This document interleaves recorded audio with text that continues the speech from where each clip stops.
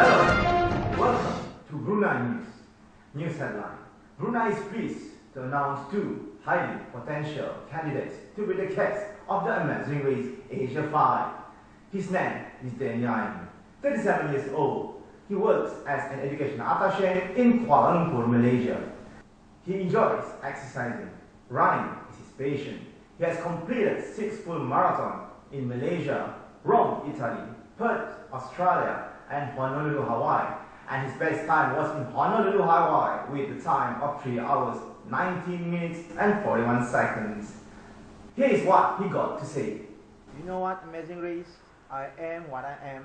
I'm proud of it. I'm clever, I'm smart, and I know what I'm doing. I was the mastermind of all the occasion, and I know that all my surrounding agree with me. Do you agree? Um, kind of. His teammate is Harrisman Ashady, 38 years old, a Brunei working as an education officer in primary school. He is an adrenaline junkie.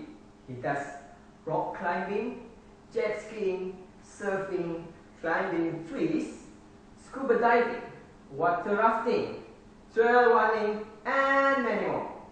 He is known to be funny, always teasing, clumsy, and a joker.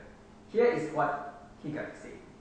I love to make friends, joke around, talkative, and always complain. I love the Amazing Race. I also love Amazing Race. I Huh? watched the Amazing Race since the very first seasons, and hands down, man, this is the best shows ever, man. Because all the challenges are the things that I like to do. Amazing Race. No, I think I can do better than you. Nah, I can do better than you. No, you. no. Nah, nah. They have known each other since high school. Despite their differences, they communicate well, well bonded, and trust each other. They won multiple amazing races in Brunei. They won the three days, two nights Bruin race with a large margin over the second place.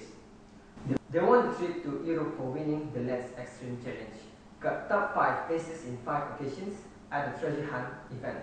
Won first place to Hong Kong on the Walker Hunt contest. The list keeps going on. In Brunei, they are the most suitable cast. And I really can imagine if they are not selected to be one of the teams in this race. And I'm sure that all Bruneians are rooting for them, hoping they could be a role model to our beloved country and show to them that a small country like Brunei can compete in this amazing race. Oh, woo!